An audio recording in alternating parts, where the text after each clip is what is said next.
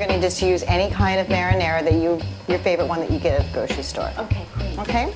Hi, I'm Catherine Lee, parenting expert, and this is Danielle, a fabulous chef. She's going to show us today how to make a turkey pasta bolognese. Yes, yes, absolutely. So we have basically garlic, we have two different kinds of squash, we have onions, we have carrots, and we have celery. Wow. These are actually microplaned with this instrument, Uh-huh. and they actually, when you cook them, they reduce right into the sauce. So kids don't even know. Like, my kids would never eat Oh. Is squash that why you use a microplaner instead of Then something else, dicing it. Dicing it, Oh, okay. you could dice Okay. it, but I just happen to do this this way. And it hides the vegetables better so the It kids does. don't know. Yes, there you go. Perfect. So we're going to start with a little bit of olive oil. I would say about two tablespoons. Okay. And can you hand me the garlic and the onions, Catherine? Sure, absolutely.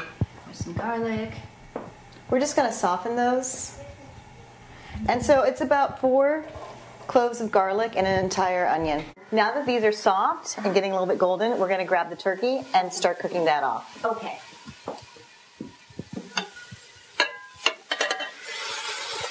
And how much turkey? Oh, Hey, how you doing? You didn't even take your coat off. Oh, that's weird. That's weird. Here, oh, okay, goodbye.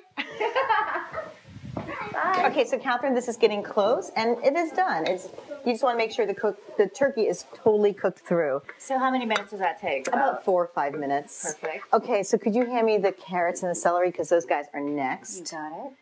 and we're just gonna plop those in there. And look at the colors of this. It's beautiful. How many squashes did you use? Just one small one yellow squash? and one small zucchini. So a yellow squash and a green squash, zucchini. And I'm going to get that in there as well. All right, now I want to go ahead and start the water for the pasta because this is not going to be that much longer, but we need to get that going so it's all going to coincide with each other. Now, could you go ahead and give me the red wine? Okay. And I'm just going to eyeball this. It's about a cup.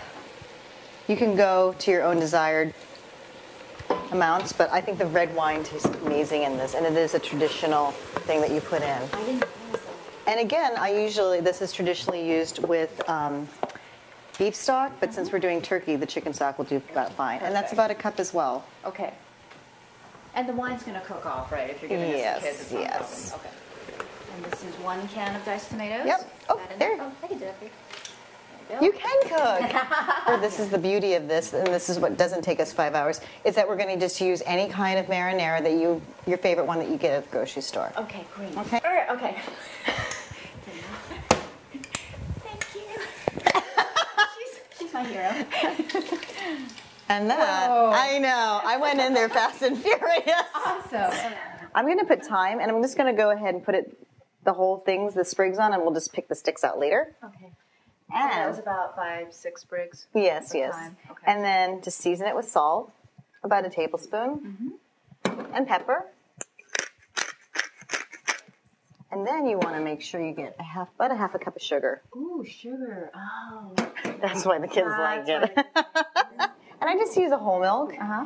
and about a cup, and it lightens up the sauce. Oh, look at that.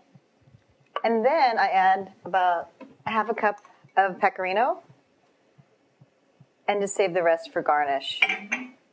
And get that going, and just give it a few more minutes, and we'll ready to we'll be ready to serve this on up.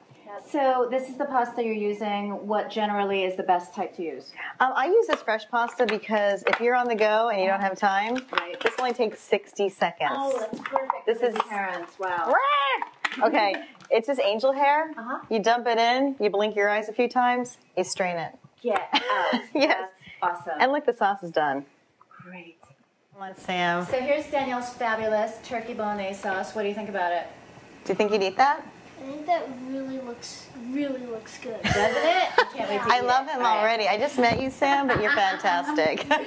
this is a lighter version of a traditional bolognese, Yum. and it's quick, and it's tasty, and it's healthy. And I did not lie. It was quick. It was Did I very say quick? quick. Very quick, and it's very kid friendly. Most yes. important. There you go. Enjoy. Thank you so much, Danielle, You're for showing us how to make this pasta bolognese with turkey. How's it taste? No.